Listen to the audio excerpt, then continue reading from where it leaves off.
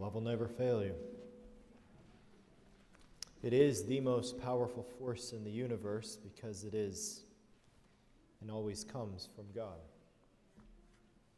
Thank you so much. That was beautiful. What do you say, church? Well, happy Sabbath. It's good to see all of you here. It's good to see some of our college students and academy students back with us this morning. Um, I'm sure on behalf of the parents, we're really glad, and all of us, we're really glad that you're here. And um, you're missed when you're down doing school, but we know the Lord is blessing you there. Strange times we're living in, isn't it? Incredible how much one week of change can bring. Two years ago, our world was on the verge of shutting down due to a virus at this time of year. And we've walked through that. The Lord has carried us through that mercifully. Over those last two years in the U.S., we've had fires at a scale that um, broke records. We had freak natural disasters, probably the best way that people have described it. We have seen that Jesus is coming soon.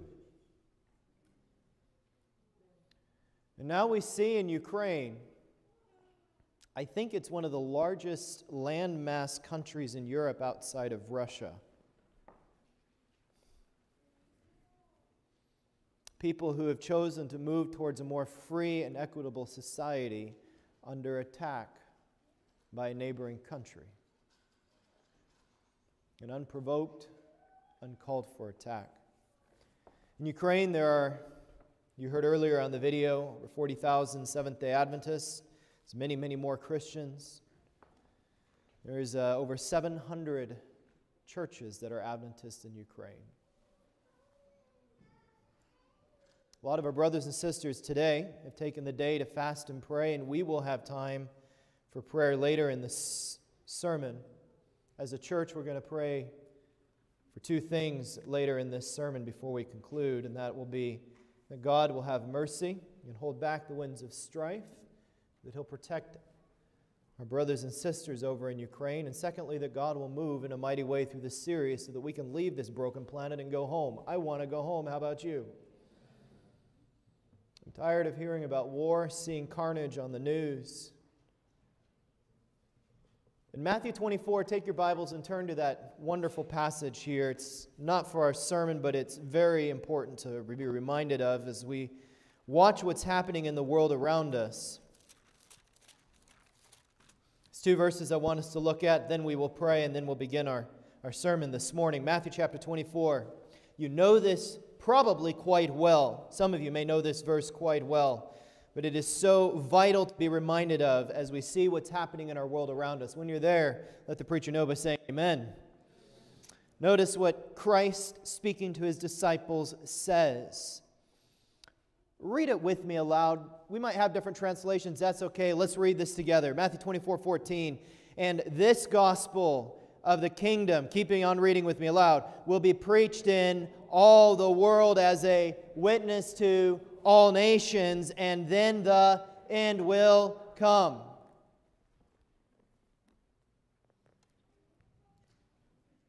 When the gospel has been shared with the world, that's when Christ says we go home. I want to go home, don't you? How vitally important it is the series of meetings that are coming up, how critical they are at this time in, in Earth's history. Go with me to Luke chapter 21.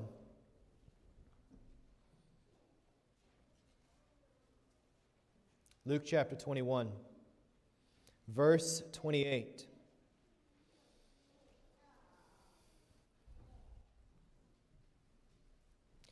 Actually, let's start in verse 25 and then we'll jump down to 28. Luke chapter 21, verse 25. When you're there, if you'll say amen. Notice what it says, verse 25, and there will be signs in the what? Sun, in the moon, and in the stars, and on the earth, what? Do we see that happening today? with perplexity. It's interesting. I would not want to be the president of the United States right now. How do you win? And no, don't, don't answer that because that turns into a political debate. Okay? The perplexities we see right now. The sea and the waves roaring. Verse 26 men's hearts failing them for fear and the expectations of those things which are coming on the earth. For the powers of heaven will be shaken. Then they'll see the sign of the Son of Man coming in the clouds with power and great glory. Just pause there, church. We don't have to fear because our God is coming with power and he will set it right. What do you say? Now, verse 28 when these things begin to happen, do what? You've heard us talk about this before, but we need to be reminded. Don't look down in discouragement or at your phone in, in an addicted fear at the news about what's going on. Look where? Because why? Your redemption draws near. Today, we are a day closer to the second coming of Jesus Christ. He is coming.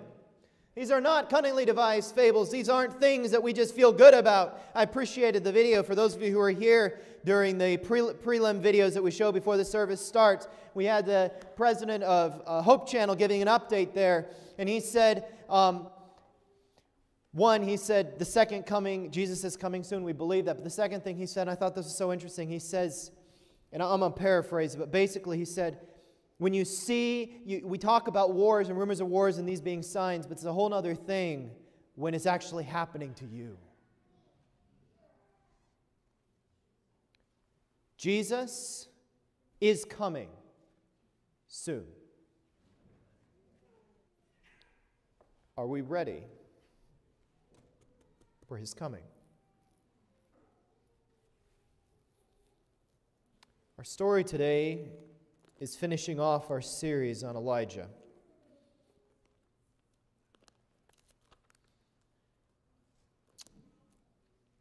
We're going to talk about how personally we need to prepare for the coming of Christ. before we begin, we need to pray and ask the Lord to speak to our hearts. Please bow your heads with me as we pray.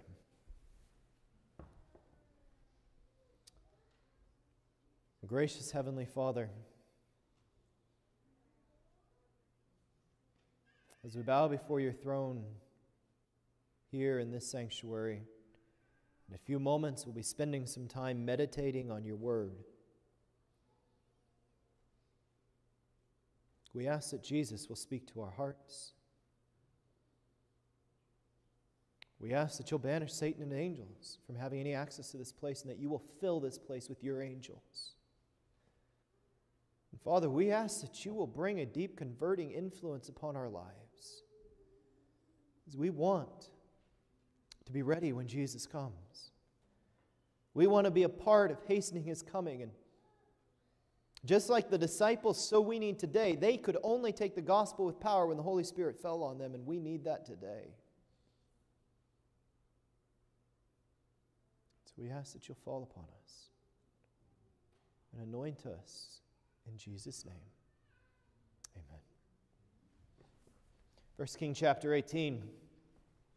By way of reminder, last week we saw that Elijah stood alone against 850 prophets. 450 prophets of Baal, 400 prophets of, of the other gods there, 850 prophets there and then the huge, vast multitude of the children of Israel, and not one person was willing to stand up and say, God is God. They were waiting for the showdown to make up their minds.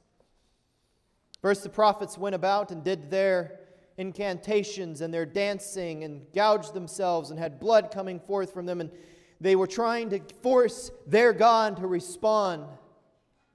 And we saw that any time that we aren't walking with God and we're trying to do things in our own way, it requires a lot more work and effort on our part. But when we let God do the work, He does it in His strength and we can rest in what He does. We saw that with Elijah. Elijah comes to that critical point. He's standing there. The prophets have finally, the other prophets have finally pulled away.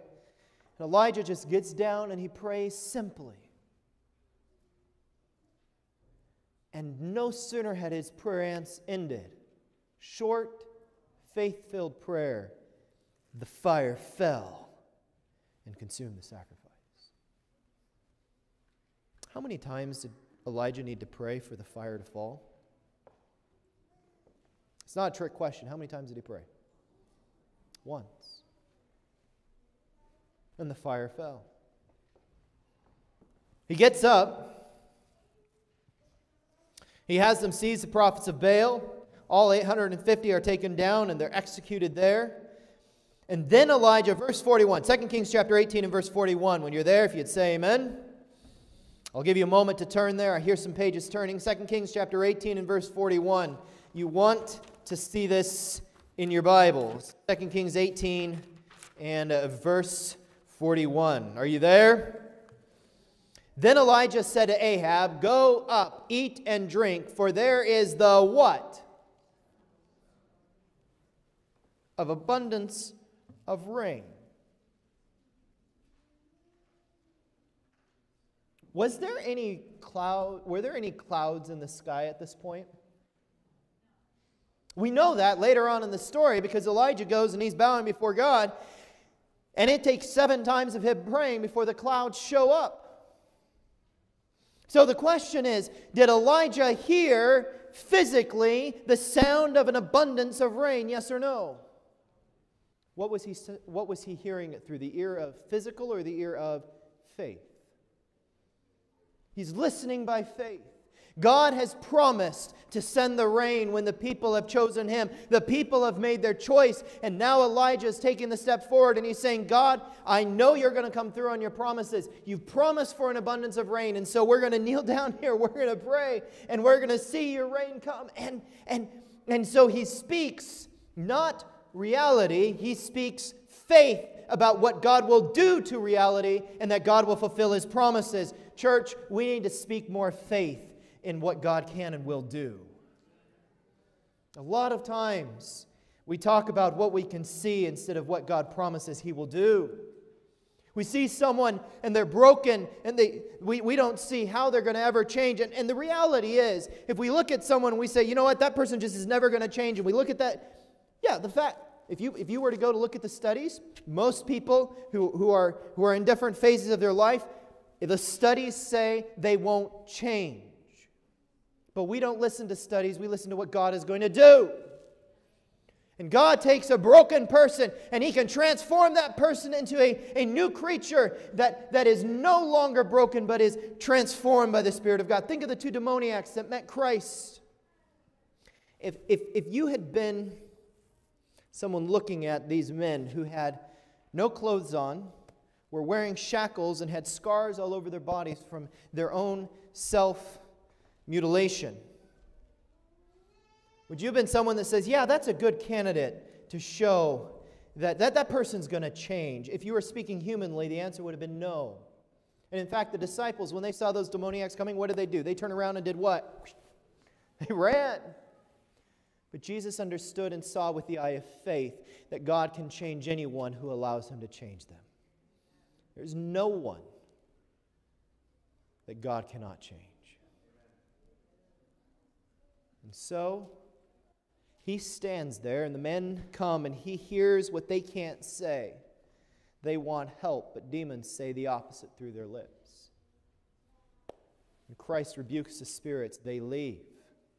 And the men are then seen clothed and in their right mind, sitting at the feet of Jesus.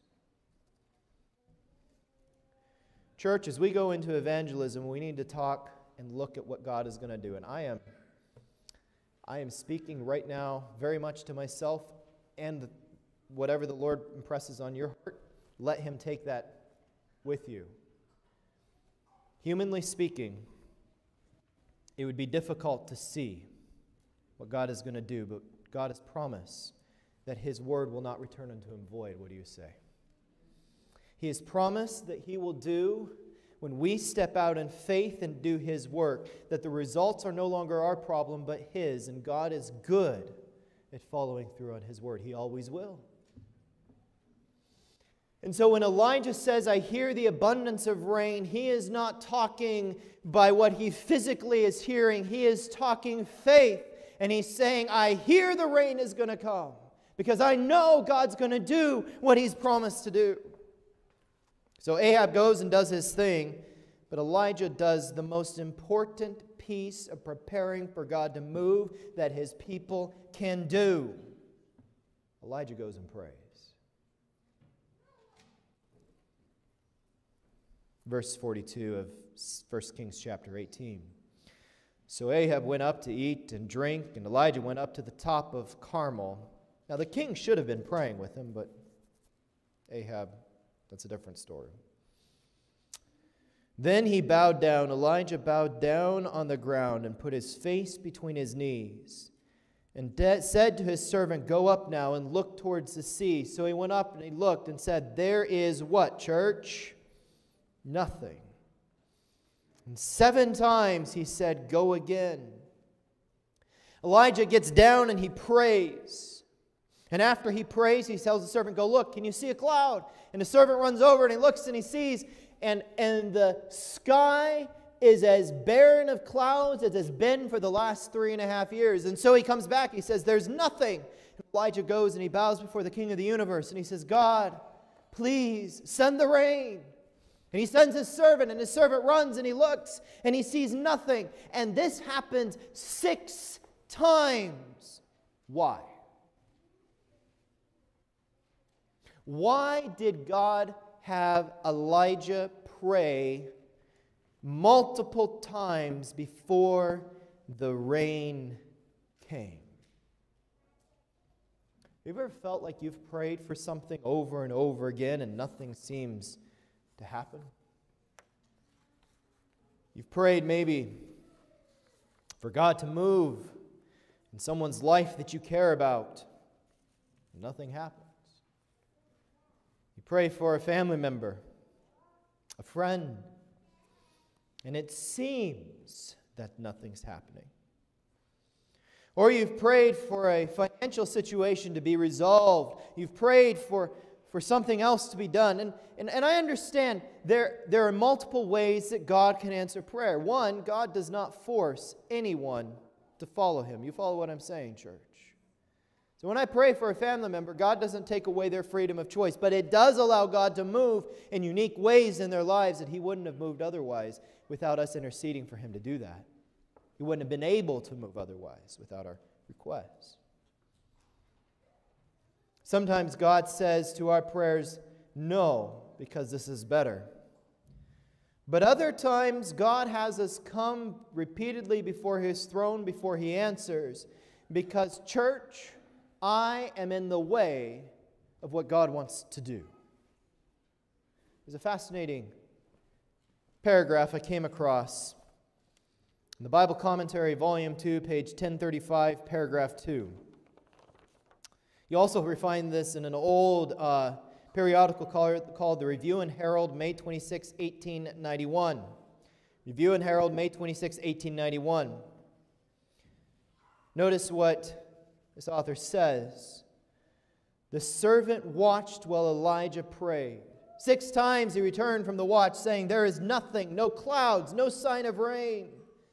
But the prophet did not give up in discouragement. He kept reviewing his life to see where he had failed to honor God. He confessed his sins. He did what, church? He did what? He confessed his what? His sins, and thus continued to afflict his soul before God while watching for a token that his prayer was answered. Now, notice this. As he searched his heart, he seemed to be less and less both in his own estimation and in the sight of God. It seemed to him that he was nothing and that God was everything.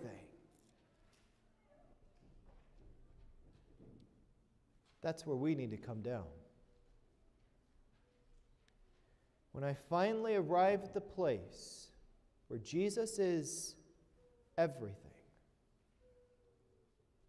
and my own human strength becomes nothing because I can't do anything without Jesus. Church, do you believe that?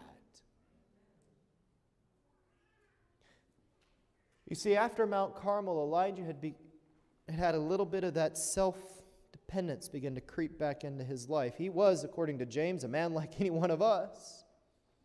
I mean, I think you probably would have had that if you had just showed it to the whole nation.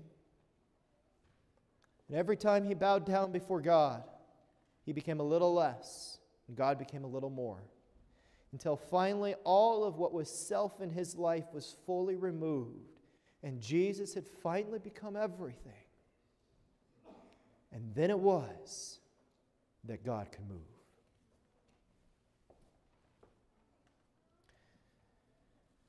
It seemed to him that he was nothing and God was everything. And when he reached the point of renouncing self, while he clung to the Savior and his only strength and, as his only strength and righteousness, the answer came. On that seventh time, the servant appeared and said, Behold, there riseth a little cloud out of the sea, like a man's hands. Church, here's the point success in our evangelistic series, success in your own personal spiritual walk, success in any area of your life will only happen, true success will only happen when you stay before God on your knees until God becomes everything and we become nothing. It was when he finally looked away from himself and only saw Jesus, that's when the rain came. You see, his danger was that he would look to his human weakness instead of to the divine arm of God, and there was not a single thing that Elijah could do to make the rain come. It was all God and God alone. Notice verse 44 as we continue, we finish our passage here and come to our conclusion. Then it came to pass on the seventh time that he said, There is cloud. There is a cloud as small as a man's hand rising out of the sea. He said, Good. So he said, Go up, say to Ahab, prepare your chariot and go down before the rain stops you. What a man of faith. All he needed was a cloud, and he knew God was going to move. Now it happened in the meantime that the sky became black with clouds and wind, and there was a heavy rain. So Ahab rode away and went to Jezreel. Then the land, hand of the Lord came upon Elijah. He girded up his loins and ran ahead of Ahab to the entrance of Jezreel.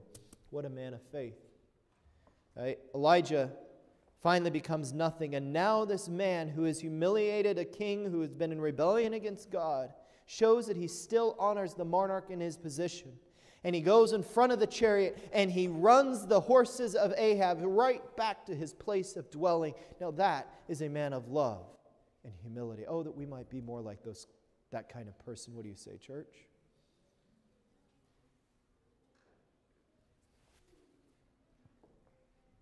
Coming to the place where God is everything and man is nothing. When we arrive there as a church, God will do great and mighty things.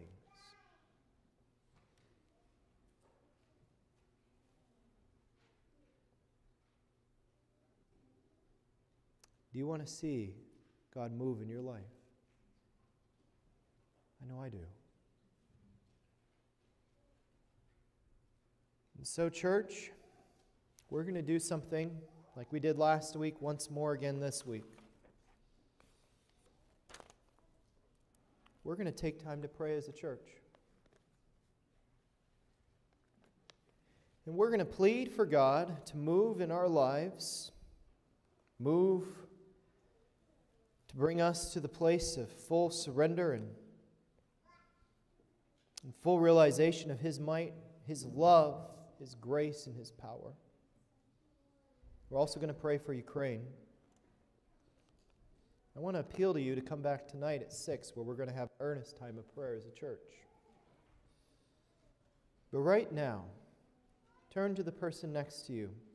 If you're able to kneel together, kneel. And let's seek the Lord in prayer, as Elijah did on Mount Carmel, asking Him to move in a mighty way in our lives, to teach us how to fully surrender to Him protect those, our brothers and sisters in Ukraine, and to show us Jesus, only Jesus. Let's pray now.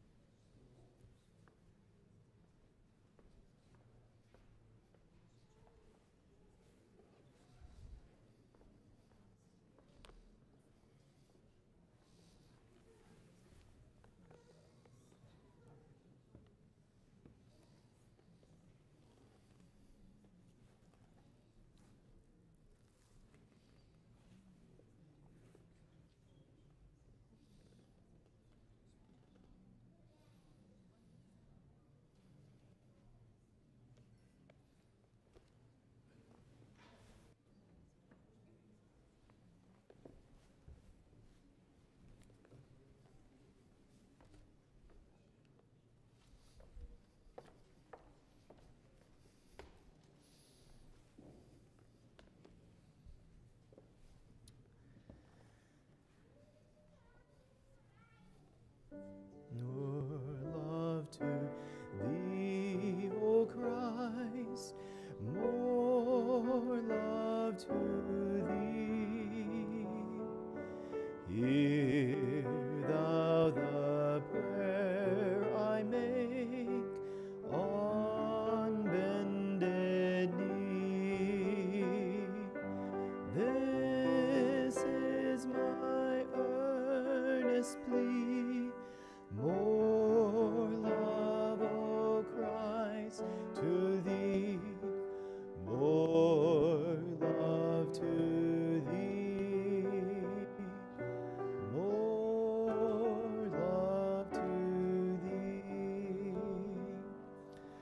in heaven,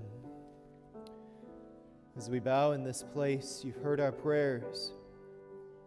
We want more love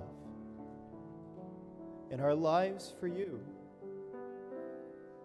We want to be taught and seen clearly and to live where every choice we make, every desire we have is baptized in the love of Jesus. Father, you know I need that. You know my brothers and sisters that are here need this. Oh, may you move in our homes and in our lives. And as we think of the campaign that's coming, oh, Father, fill us with your Spirit. Pour out upon each of us the holiness and love that we so much need. Father, we think of the war that's going on in Ukraine right now. Our hearts ache because we see death and destruction on, on so many fronts there. Oh, Father, we ask that you will have mercy upon our planet, that you will hold back the winds of strife just a little longer. That you will overrule the intentions of Satan and that you will protect this these your people. I think of our Adventist brothers and sisters and our Christian brother and sisters that are over there. Protect them.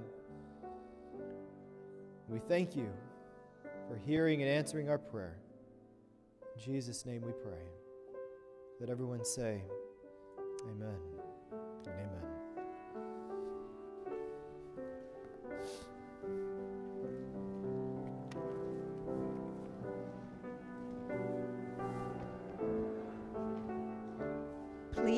stand with us as we sing our closing hymn, Sweet Hour of Prayer.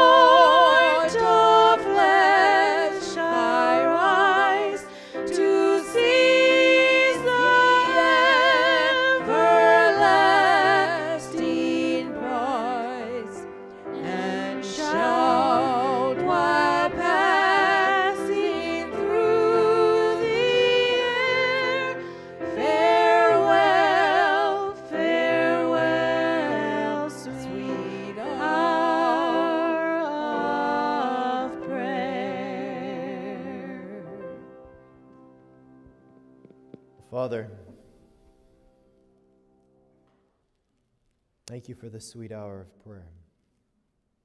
Thank you for the personal and intimate relationship we can have with you. Oh God, we pray that you will help us to learn how to pray and how to seek your face. How to do that first work and build a relationship with you, putting aside ourself and seeking Jesus in Him only. I ask that you'll bless every man, woman, boy, and girl that's here. May you bless our homes. May you bless the work of our hands. Father, most of all, may you teach us how to love you with all our hearts. We lay ourselves here into your hands in Jesus' name. Amen.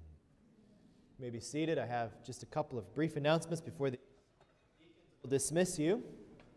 First, I'd like to remind you that uh, we have a going away dinner uh, for Dina, and that will be downstairs, and encourage you to come if you're able. Um, secondly, I would like to um, remind you that tonight at 6 o'clock, what time? We're going to be praying together here. Church, come. See what God is going to do as we seek His face. And uh, then I'd also like to remind you to be praying for the series. We have more things to pass out. If you're convicted or want to pass out some more cards to businesses, please take them. I know God will use them. God bless you. Happy Sabbath, and have a good week.